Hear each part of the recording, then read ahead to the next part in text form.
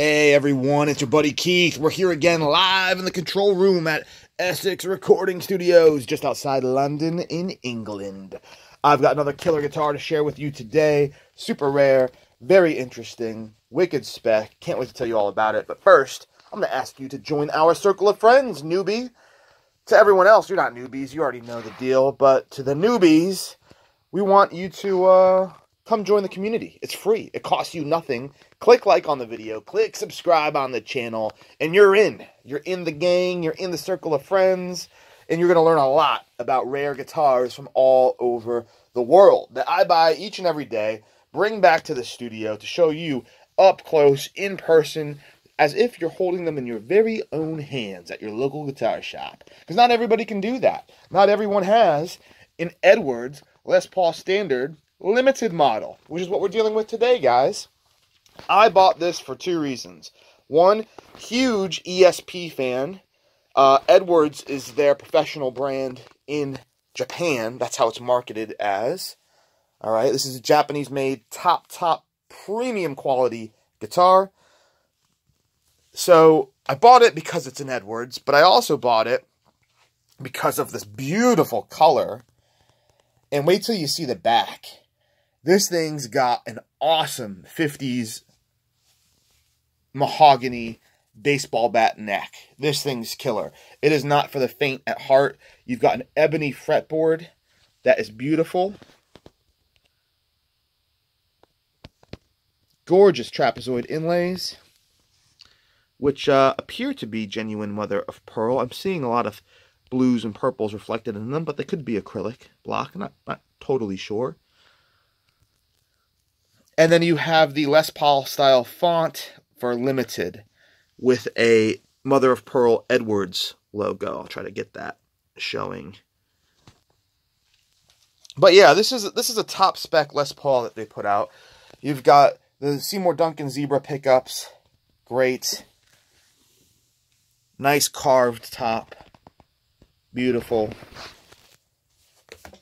And this thing's got good weight to it. I mean, it, it is heavy, guys. No, no way to mince it any other way.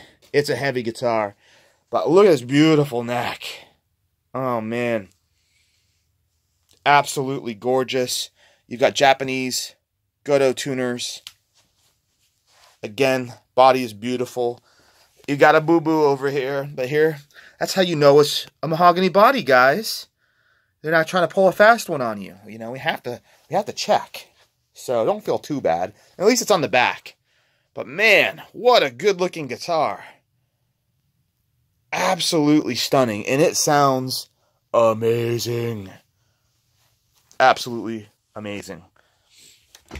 We've got the strings detuned right now because it's going to go get shipped off here shortly. We've got someone, got a couple people interested in it. It is going up for sale on the Reverb site and on our website, www.essexrecordingstudios.com. So if you still see it there, it's still available, but we already had two people get in touch. And I don't think it's going to be available for very long. Man, that's a good looking guitar.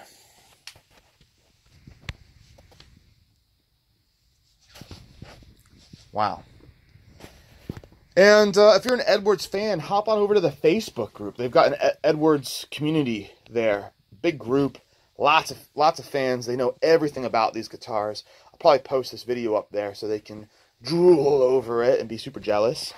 Um, and yeah, guys, check it out. Get to learn the brand. It's it's really premium guitars. They're made by ESP. Of course, Metallica uses them. Uh, if it was ESP, this would be an Eclipse, but part of why they, they use the Edwards brand and why it's only in Japan because you can't get away with things like this Les Paul font that's clearly copying it. I mean, it's obviously copying the Les Paul. You've got the four knobs. Um, it's uh, you'd have copyright issues outside of Japan, and I can't get over this neck. I wish I, you can't feel stuff in a video, which is really a shame. But this neck is just awesome. It is super beefy something Zakk Wylde would have.